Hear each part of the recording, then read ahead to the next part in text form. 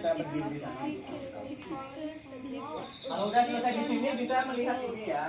Ini anvilnya, sarang semutnya. Di sana ada informasi di dalamnya. Di dalam sarang semut